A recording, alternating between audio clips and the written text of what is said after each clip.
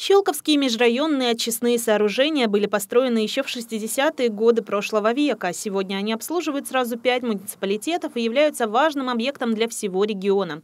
По прошествии ни одного десятилетия беспрерывной работы сооружения стали нуждаться в модернизации, ведь и численность жителей в городах выросла, и предприятий стало гораздо больше за полвека. Значит, и нагрузка на очистные увеличилась в разы, да и экологические нормы по сбросу в водоемы очищенных стоков изменились. Реконструкция началась в 2019 году в рамках федерального проекта «Оздоровление Волги». На сегодняшний день работы выполнены почти на 50%. Сроки исполнения и каждый шаг модернизации на особом контроле у властей региона и муниципалитета. Так министр ЖКХ Московской области Антон Велиховский проверил ход работ и провел штаб с руководством очистных сооружений, сотрудниками администрации округа и подрядчиками. Мы в рамках этой программы совместно с Минстроем Российской Федерации осуществляем и строительство, потому что используются федеральные деньги в этом проекте, президентская программа, э, экология. Идем с серьезным опережением графиков.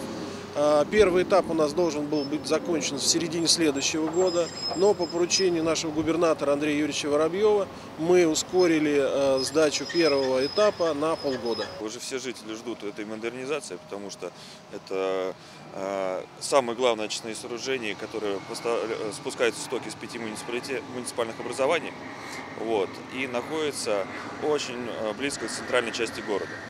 Первый этап модернизации, выведения из эксплуатации старого оборудования и запуск новых сооружений аналогичной мощности планируется осуществить уже в декабре этого года. Сегодня работы на объекте продолжаются и днем, и ночью, без выходных.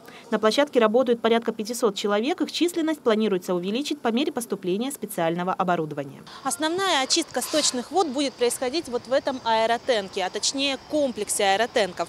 Их длина составляет 200 метров, ширина 160, а высота 8.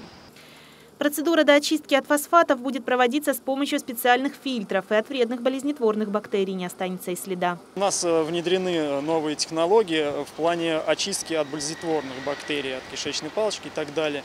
Так как э, раньше это производилось хлорированием, э, сейчас это, ну, по сути, по нормам невозможно рыбного хозяйства. Сейчас вот применяется ультрафиолетовая очистка, которая у нас тоже внедрена. Межрайонные очистные сооружения самые крупные в регионе. Они пропускают 320 тысяч кубических метров сточных вод в сутки. Модернизация увеличит показатель до 400 тысяч. Полностью завершить работы планируется до середины 2023 года. Анна Бальет, Сергей Максимов, Щелковское телевидение.